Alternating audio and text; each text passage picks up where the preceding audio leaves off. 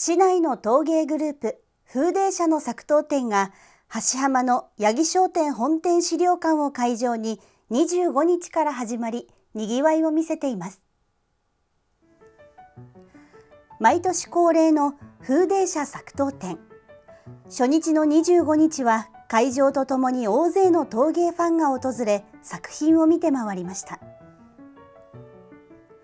風鈴社は市内の陶芸家桑原隆さんが2000年に開いた陶芸教室です。現在はおよそ25人のメンバーが玉川町にある工房で作品作りに励んでいます。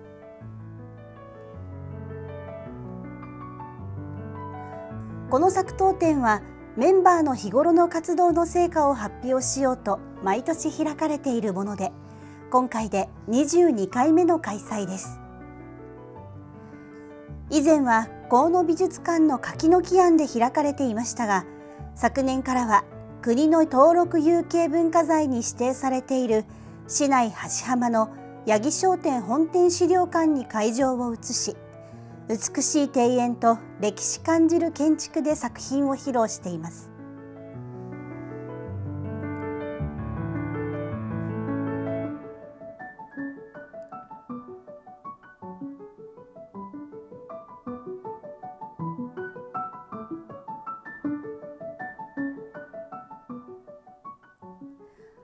今回の期間中会場には12人のメンバーが1年間制作してきた作品およそ3000点が並びます。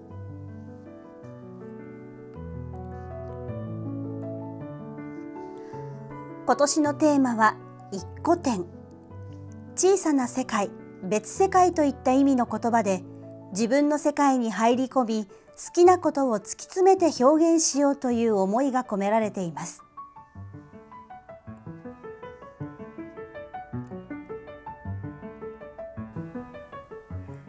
生活の中に当たり前にある食器や火器だからこそ芸術作品を作るということを意識しすぎず制作しているという桑原さん。脇役になるよう個性を抑えつつ作りますがこうして作品が並ぶと作者のこだわりが見え隠れすると作品の楽しみ方について話します。ずらりと並んだ作品の中には販売されているものもあり来場した人たちは器を手に取りじっくりと見て作者の一個展を楽しんでいました。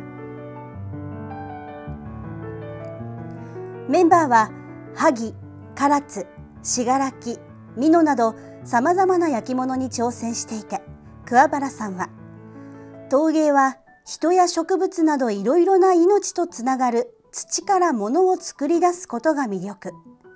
メンバーが自分の世界観を表現した作品を楽しむことはもちろん資料館についても知ってほしいと来場を呼びかけています。風鈴社作刀展は橋浜2丁目の八木商店本店資料館で29日まで開かれています。